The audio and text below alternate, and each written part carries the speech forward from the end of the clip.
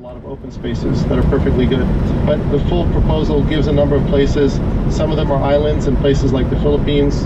When I went to the Philippines a number of years ago, somebody offered to sell me an island. There are thousands of islands for sale around the world, many of them uninhabited. And there are countries that have a lot of uh, open land.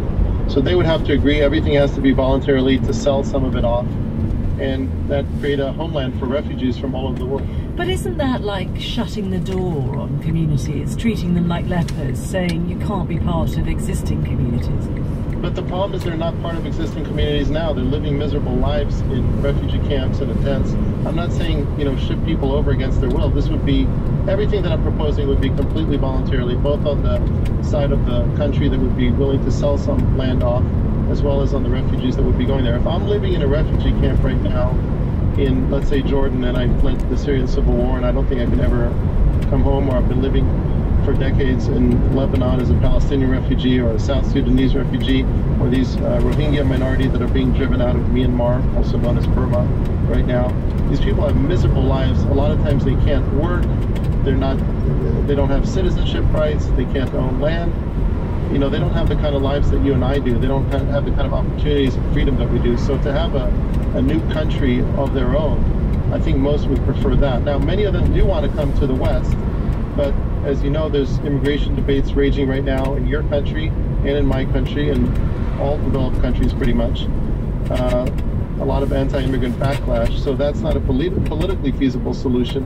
So what I think is a better solution is to create a country where they can be full citizens, have full rights like everybody else. But how do you see the economics of this working? First of all, who would pay for this? Who would pay for the land? For this to become a reality, it's not going to become a reality just because I have this idea, but, but it definitely can become a reality if we have some very wealthy people.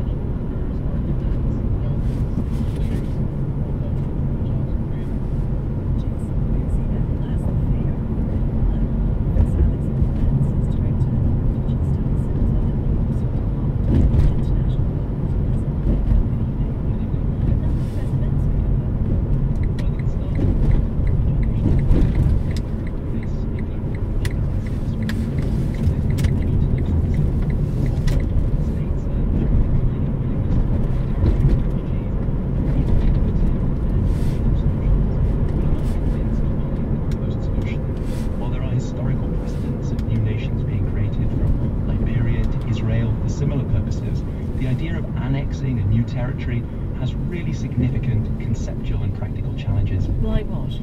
Well, I mean, first of all, it's worth noting that refugees are not the same as stateless people.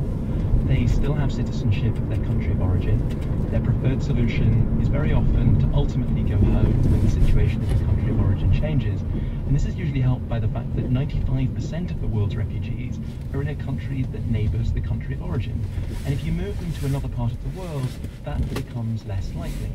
A second major challenge is, frankly, the world's track record of artificial nation building is really not strong. It creates challenges of what happens to a potential indigenous population.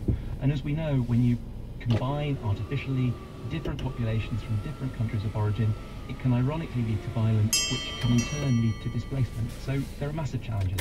But I suppose Jason Buzi would say, look, this is a way of opening up the debate. Nobody else has come up with a particularly good example, and if anything, uh, the world, the, the, the developed world, uh, richer countries mm-hmm. are turning their back on refugees, feeling simply that they're overwhelmed, they can't cope. I really commend Jason Buzi's sort of moral outrage with the lack of solutions to a global problem.